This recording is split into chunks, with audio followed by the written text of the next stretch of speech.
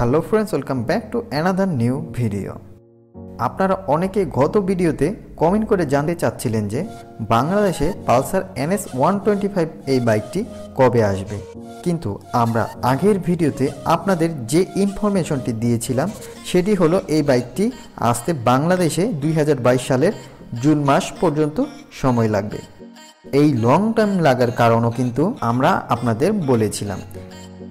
সেটি হলো Bajaj Discover one twenty five ও Honda CB Shine এই দুইটি বাইকের বিপুল স্টক থাকার কারণে এই মুহূর্তে অফিসিয়ালি লঞ্চ করছে না উত্তরা মোটরস এবং এর প্রাইসও ছিল একশো পঁচিশ সিসি বাইকের মধ্যে সবচেয়ে বেশি।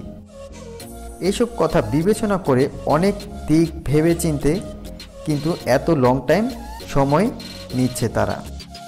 কারণ এখন যদি লঞ্চ করে, তাহলে Bajaj Discover one twenty five বাইকটির সেল অনেক কমে যাবে। আর তাদের একটি বিশাল ক্ষতির সম্মুখীন হতে হবে।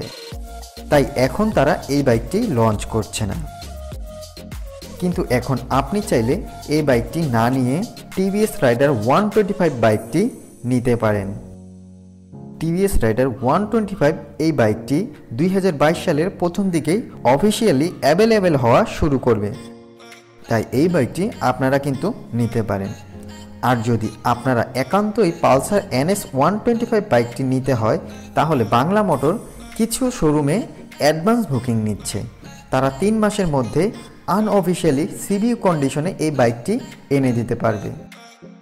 এই বাইকটির জন্য তারা এক লক্ষ তেইশ হাজার টাকা প্রি বুকিং হিসেবে নিবে। এবং তিন মাসের মধ্যে আপনাকে এই বাইকটি আনঅফিসিয়ালি সিভিউ কন্ডিশনে ডেলিভারি দিয়ে মোট এক লক্ষ আটচল্লিশ হাজার টাকা এই বাইকটির জন্য প্রাইস রাখবে আপনার থেকে। কিন্তু আপনারা এভাবে আনঅফিসিয়ালি বাইক না নিয়ে কিছুদিন ওয়েট করলে আপনাদের জন্য ভালো হবে।